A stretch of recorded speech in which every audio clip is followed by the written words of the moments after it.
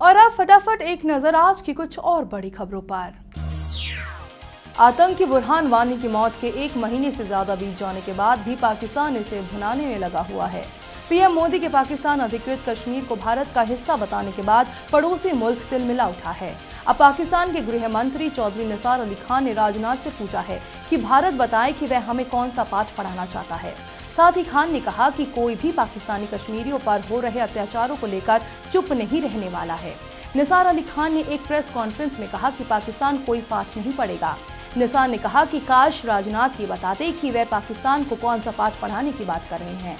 अगर वे शांति भाईचारे के पाठ की बात कर रहे हैं तो वह पाकिस्तान ही है, जिसने वार्ता के लिए हमेशा दरवाजे खोले रखे हैं। निसार ने कहा कि कोई भी विवाद बिना वार्ता के कैसे सुलझ सकता है?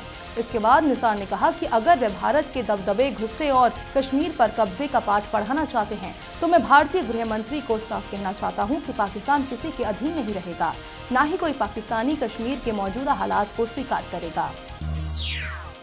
पाकिस्तान के एक शीर्ष राजनयिक ने कहा कि उनका देश परमाणु परीक्षण पर द्विपक्षीय रोक को लेकर भारत के साथ समझौता करने को तैयार है। प्रधानमंत्री के विदेश मामलों के सलाहकार सरताज अज़ीज़ ने कहा, हमने आगे के परीक्षणों को लेकर एक पक्षीय पाबंदी घोषित की है।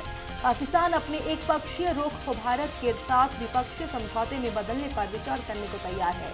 पिछले सप्ताह हुए राजदूतों के सम्मेलन के बारे में मीडिया को बताते हुए अज़ीज़ ने कहा कि बैठक में ये बात सामने आई कि पाकिस्तान निरंतर रूप से सीटीबीटी का समर्थन करता रहा है और वर्ष उन्नीस सौ छियानवे में संयुक्त राष्ट्र महासभा द्वारा इसे स्वीकार किए जाने के वक्त भी इसके पक्ष में मत दिया था।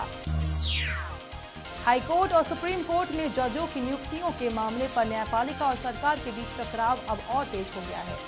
शुक्रवार को देश के मुख्य न्यायाधीश टी एस ठाकुर समेत तीन जजों की बेंच ने सरकार से पूछा कि कॉलेजियम की सिफारिश के बावजूद अब तक पचहत्तर जजों की नियुक्तियाँ क्यों नहीं हुई है? सुप्रीम कोर्ट ने कहा कि कॉलेजियम ने हाई कोर्ट में जजों की नियुक्ति के लिए पचहत्तर लोगों की लिस्ट भेजी थी, लेकिन केंद्र ने अब तक इस पर कुछ नहीं किया। सुप्रीम कोर्ट ने अटॉर्नी जनरल से कहा, अब समय आ गया है कि अदालत इसमें दखल दे और न्यायिक आदेश दे।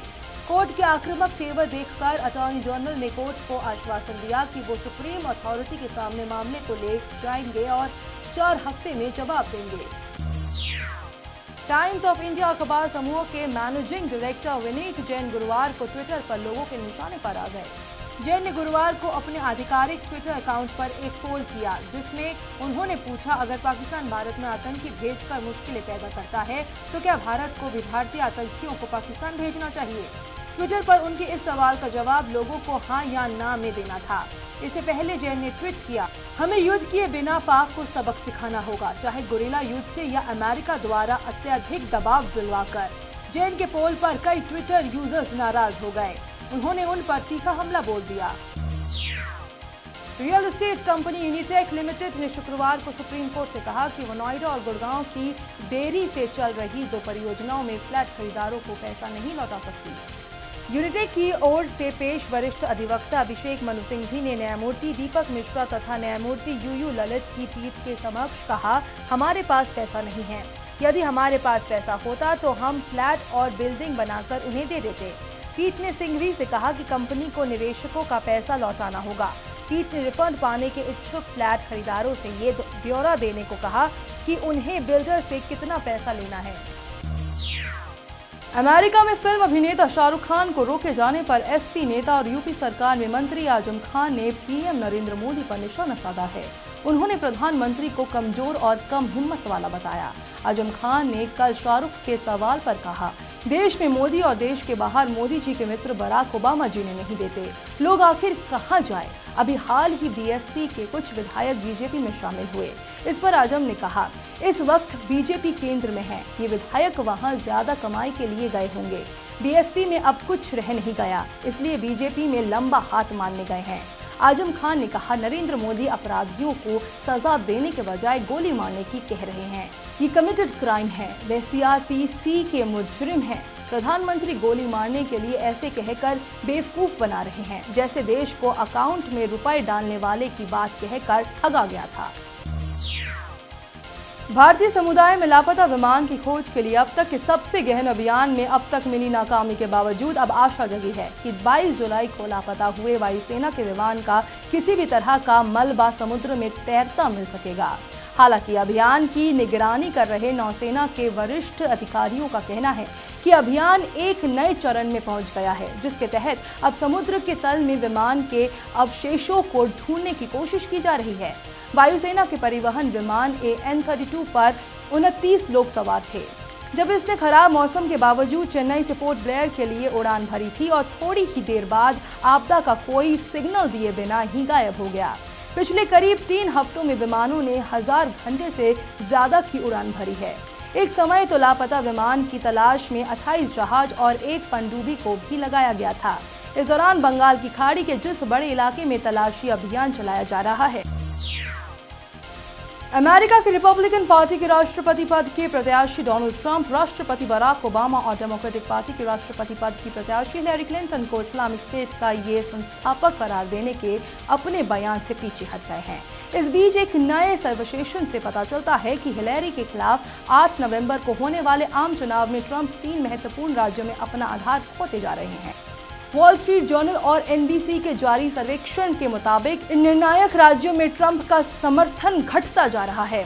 जनसंख्या के कारण राष्ट्रपति चुनाव में ये तीनों राज्य निर्णायक भूमिका अदा करेंगे। उधर ट्रंप की रिपब्लिकन पार्टी अपने उम्मीदवार के पक्ष में एकता बनाने की कोशिश में जुटी हुई है।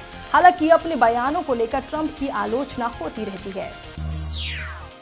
पूर्व हॉकी खिलाड़ी धनराज पिल्लई ने नाराज़गी ज़ाहिर करते हुए कहा कि रियो में विजय गोयल को कौन जानता है। उन्होंने ये गुस्सा उस खबर पर दर्शाया, जिसमें बताया गया था कि भारतीय खेल मंत्री विजय गोयल के ओलंपिक के नियमों को तोड़ने की वजह से अंतर्राष्ट्रीय ओलंपिक समिति नाराज़ है।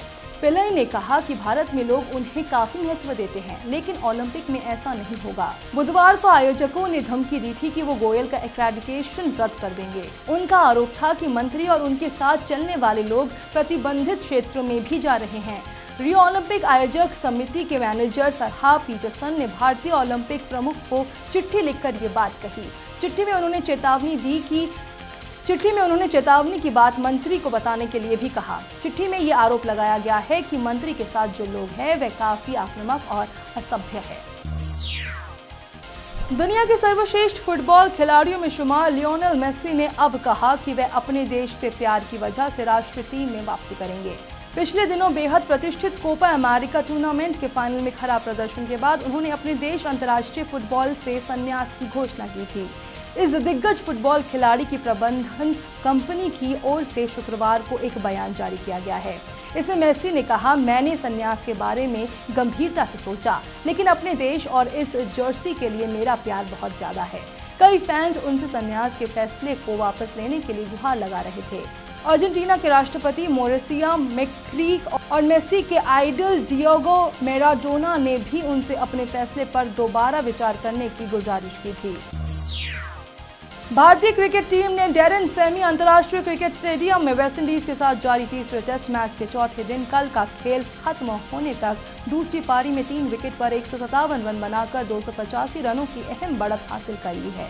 भारत ने अपनी पहली पारी में रविचंद्रन, अश्विन और रिधिमान साहा की बेहतरीन शतकीय पारियों की मदद से तीन सौ तिरपन रन बनाए और फिर चौथे दिन भुवनेश्वर कुमार के 33 रन देकर पाँच विकेट लेने की उम्दा गेंदबाजी की बदौलत वेस्टइंडीज की पहली पारी 225 रनों पर समेट दी।